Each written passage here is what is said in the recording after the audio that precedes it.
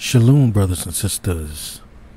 All honor and great esteem goes to our Father Yahuah in the name of Yahusha HaMashiach. Thank y'all for tuning in, brothers and sisters, to yet the fourth installment of this conversation about the serpent marriage.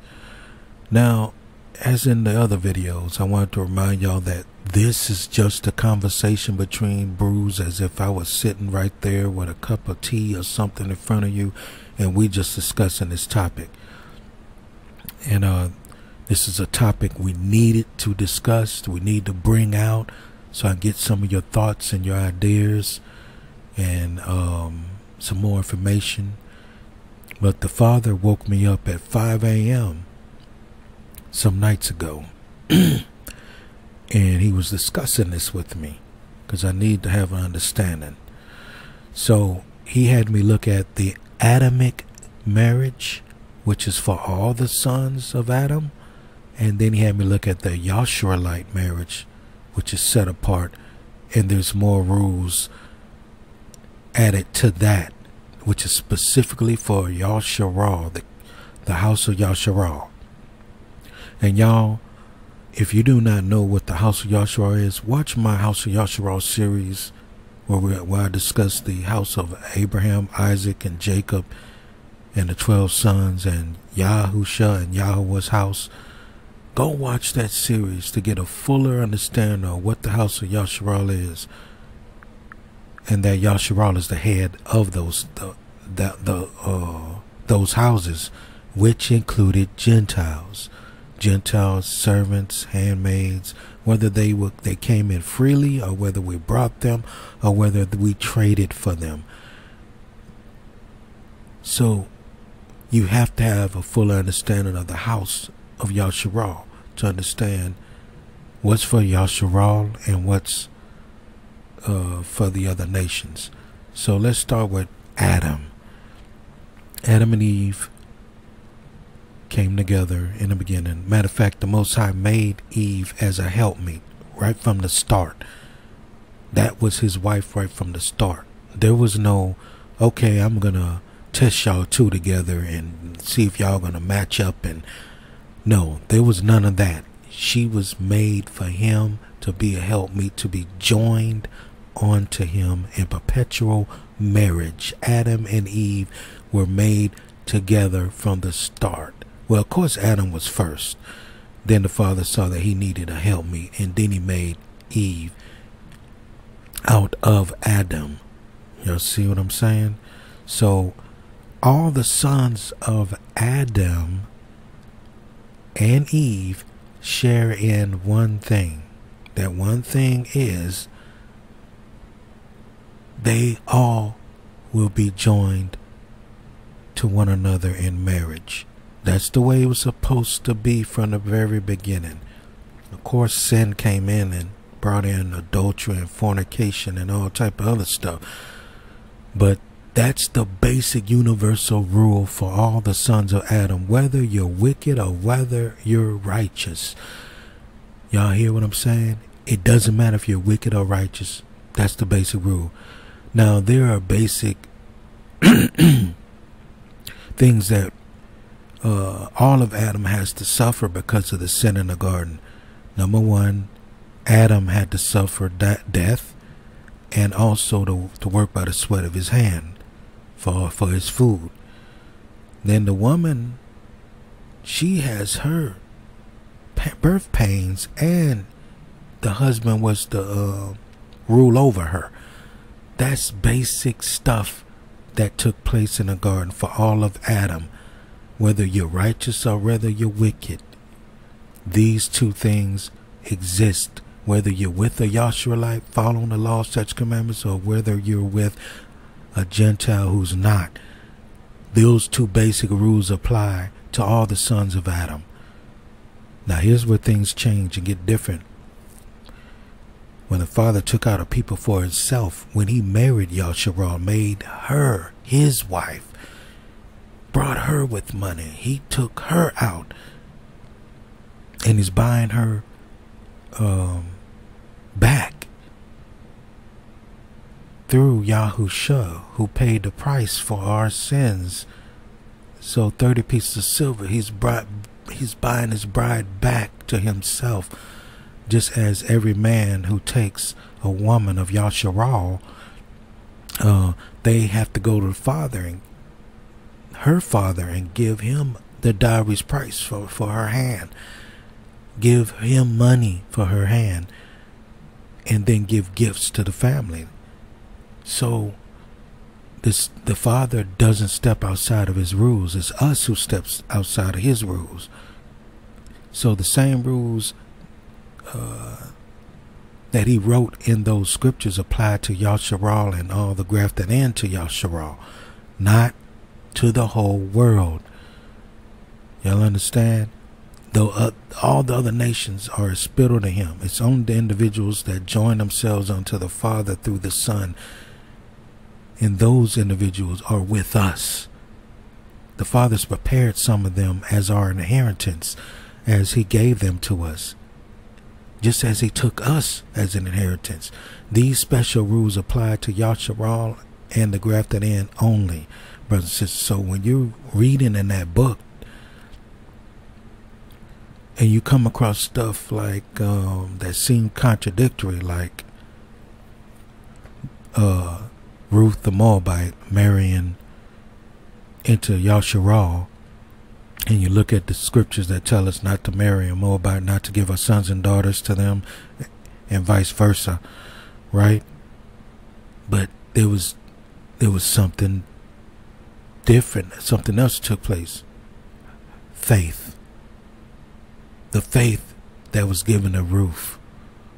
And the result of that faith was her acceptance by the Most High as being clean. She was no longer unclean. She was clean. And to be treated as one born in the land.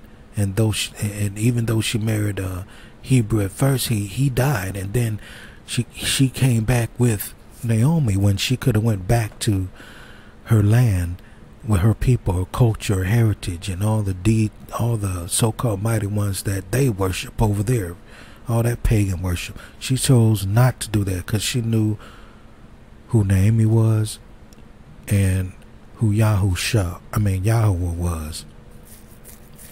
So she went back with them and she was accepted by them when they judged in righteousness and she was given to Boaz eventually and the result of that was King David. So there's faith at play throughout the scriptures that could graft uh, someone in that you may deem not graftable. Y'all understand? Those rules apply to the wicked. You not to take an unclean Moabite or unclean meat Midianite, right? We got punished for that. 20,000 of us died for taking those Moabite Midianite wives why? Because the Father saw that they were unclean, unclean at heart. Y'all see that? Because we became His when we went to that that mountain. The mountain was smoking and the blood was spilt and sprinkled on the books and the people as a blood covenant. And the same thing happens between a man and a woman when they first come together that's the binding of the covenant. When you enter into that woman and the hymen is broken and the blood is released, that's a blood covenant. That's a blood covenant. And that's the way it's supposed to be. Virgins coming together, binding it in blood for life. But when you're outside of that, you're, you're outside of the Most High. But it but it does still uh, mean that you married there is that same basic Adamic rule for all people in the world, including Yahsharal. But there's more added for us because we are his inheritance. We are supposed to be righteous and clean. And he doesn't want us to touch the unclean thing. And so when we did touch the unclean thing, punishment came. So uh, the the Most High didn't recognize those marriages, and He said, "Put them away, give them a divorce," because He had power to end that marriage, just as Abraham had power to end Ishmael's marriage. When he went to that to Ishmael to see Ishmael, and he went to that tent, and that evil woman was cursing and yelling at her children, beating them, and treated him ill. And he he told her to, to give Ishmael this message: put away the nail of this tent, for it is for it is bad. Guess what? He canceled that marriage as the father. And then he came back later on and saw that there was another wife there and she was good and he gave the message tell Ishmael to keep this this nail for it is good. And Ishmael came back home, rejoiced in that news, and he packed up his stuff and went and seen his father. Y'all see that story there? The father told, canceled that marriage. The Father can cancel our marriages if He so choose. If He sees you with the unclean thing and He's cleaning you up, He don't want you to be defiled. This is what Paul was also talking about in 1 Corinthians chapter 7. Uh, if you marry an unclean thing, you have to put that thing away. Now, if the person is an unbeliever that accepts you, that your children may be set apart, he he says stay stay with them.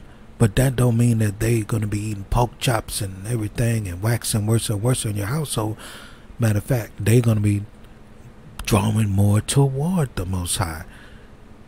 And He's gonna protect the sanctity of that particular marriage and build it up if that Gentile man that you may have married or that Gentile woman you married accepts accepts what you're doing and doesn't hinder it and doesn't uh, bring in all heresy and everything. It may be that later on that that person may go full into it with you. So you do have that factor there, but it's the father's choice whether he gonna look into the heart and mind of the souls of that man and that woman and see a clean, uh, uh, a clean thing or an unclean thing. Only he knows, brothers and sisters. You have to give him that choice. So I'm recommending that each one of you who stood in those serpent temples and got married recognize that you need to redo it underneath Yahusha HaMashiach. I mean, through Yahusha HaMashiach in the name of the Most High Yahuah. That's what I'm recommending all of you do. If the other partner accepts it, if the partner doesn't accept it, you bring it to the Most High. He'll tell you, he'll let you know in your heart if to, to put away this nail in that tent or to keep it. That's his choice, not yours anymore. But you at least try that first thing and see if you can save the marriage. Okay? Try it first. If, if it can't be done, and if you as the head can't rule in righteousness over your house, and and and the wife is is gonna just be a problem, the father may tell you to put go ahead and put her away. She's not going to walk in his ways, no matter what you tell her especially if you ask her to redo the marriage, she may not do it. And you're going to have to pray to Father, and let Him lead and guide you, and let Him say, Put away the nail in this tent, or keep that nail, for I will cleanse that nail and reposition it. You have to give Him those choices and options, and not let anybody tell you what to uh, go ahead and get divorced. No, it has to be the Father telling you to put away the nail in that tent. He would not want you to be under bondage, brothers and sisters. And I'm just going to recap and just uh, recap everything and sum it up all over again, brothers and sisters. So you can end this video now or you can continue to listen. Now, before we recap, I just want to mention that the Father does not recognize those serpent marriages that you did at the altars of the serpent pastors and preachers or any other um, organization, religion that you went before, or even out in a field where you're invoking names of nature and all these other things. Uh, he he he doesn't he doesn't recognize your idol worship. Okay, brothers and sisters. So whatever took place in there was a ritual between you and those entities, but the real marriage is when you binded yourself, when you went into that woman. There was a contract made between both of you, a binding, a bond. That was the bond of the covenant of marriage beginning. That's what he recognized. So you're either in fornication or adultery, depending on um, depending on your mind and your heart. But that's the basis of the universal Adamic marriage that was uh, initiated when uh, the Father created Eve out of Adam to be his helpmeet. And so his children will bind themselves, they will leave their father and mother and then bind themselves in a perpetual covenant, blood covenant with woman. So uh, the men will bind themselves to the woman in a perpetual covenant of marriage. And that's for the righteous and the unrighteous. And, and again, the rules change when it when it's dealing with Yahsharal. So with Yahsharal, since we're Kodesh, since we are set apart and belong to the Most High, brought by Him, uh, there's uh, a, a different rule that applies to us. Like, is that person clean? You fist to lay with. You fist to bind a blood a blood covenant with. Is that person clean? Because you're mine and you're clean you will not lay down with the unclean thing. Touch not the unclean thing. So each and each and every time we went outside of that, which I gave examples in the other videos, and I'll give a few more here. Uh, each and every time we did that, the Father canceled those contracts. He canceled them. Y'all understand? By His right and His power, because we belong to Him. We don't have the right to just go out and do what we want to do. We have to do as he say because we are his. He's the head. He rules over the wife. He leads and guides the wife. He teaches the wife. That's why it says in scriptures that every man should teach his wife at home. You understand? Because the father teaches his wife. He teaches Yahsharal his ways, his Kodesh ways. And he has a order. And when we're outside of those orders, everything breaks down and falls apart. So, brothers and sisters, you got any questions or comments or scriptures you want to add, please put them in the script, description box below. I will prepare a full marriage video concerning this topic that we've been discussing and all of its aspects, and we're going to read scriptures. Uh, to this time, it was just conversation with with the brews. Like every now and then, I do. I'll have a conversation about a topic. Sometimes I'll bring in scripture while con- conversating. But uh, I want y'all to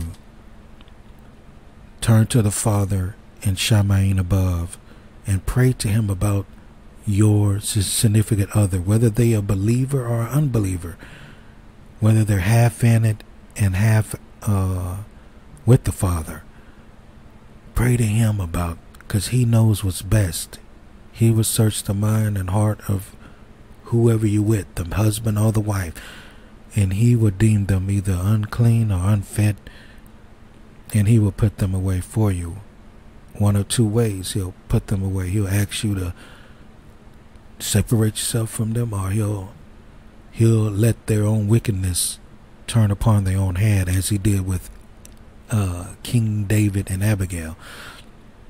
And the story of that is uh, Nahor, who was wicked, refused to feed King David and his men after King David and his men watched his cattle and his property.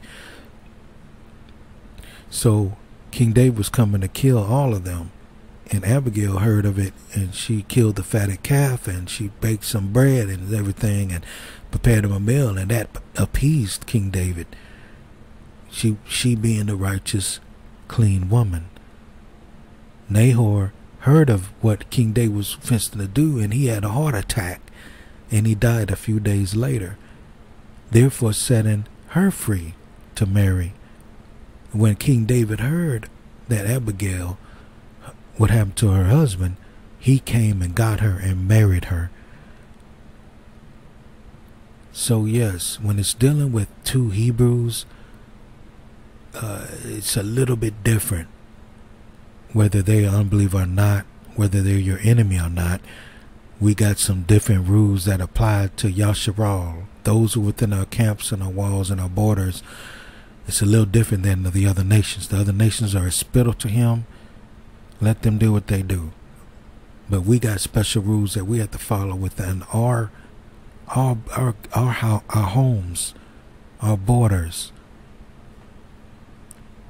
So the same rules that apply to us don't apply to the whole world, brothers and sisters, just as much as uh, when Hamashiach said, I pray for those whom you gave gave me. I pray not for the whole world. I he wasn't praying for the whole world. He was praying for those that gave him. That's the ones that matter. Those precious, righteous saints that are in him, uh, Kodeshim that's in him. That's what the Father is going to look down and look through Hamashiach and see those clean ones. He's not going to see you all filled with sin no more. He's going to see you as clean.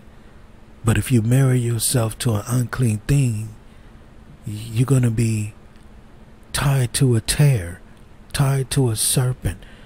And he's come to cut off those things like Abraham cut off Ishmael's first wife and put away that unclean thing. Just as uh, I think it was Reuben and Issachar who had Canaanite wives at first and then they put them away, obeying the commandment and um, they went and got some um, wives for, of of our people, of um, Abraham's people. Y'all see that? And they took them as virgins, of course, and taught them the ways of the Most High, of course. But look what happened to Judah. Judah married a Canaanite woman, and look what happened to those two sons. They got put to death for wickedness. And then, of course, he got a seed through Tamar when Tamar tricked him into lying with him and uh, providing a seed to carry on the Judah line, right? But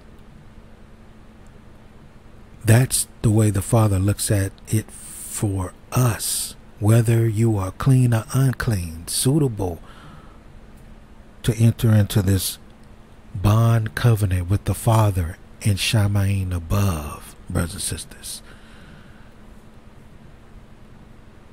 So I'm glad we had this conversation. I'm glad y'all put your comments in the other videos. Uh, it helped me understand the fullness uh, of the marriage. It helped me separate the Adamic marriage from the Yahsharal marriage. And the Father really put it together when He woke me up at 5 a.m. to discuss it with me and to share the, you know, share this information with all of you. So a fuller lesson will be brought out later on in the future when my purge is complete. And I'm really purging out, brothers and sisters. I'm at the final stage of my purge out, which I had to go through a test, a special test and trial and tribulation, uh, dealing with that video that I put out.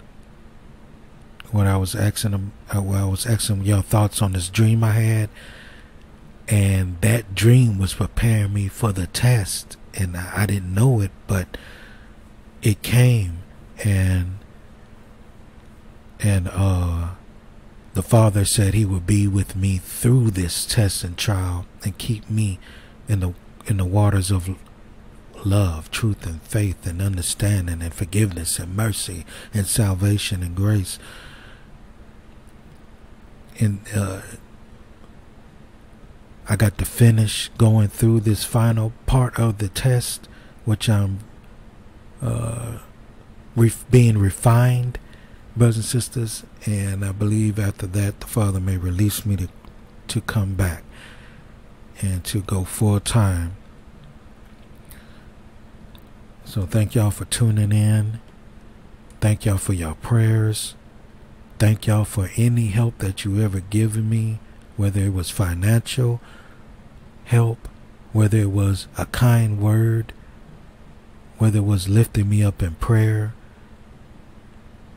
or whether it was you sending me some material through email,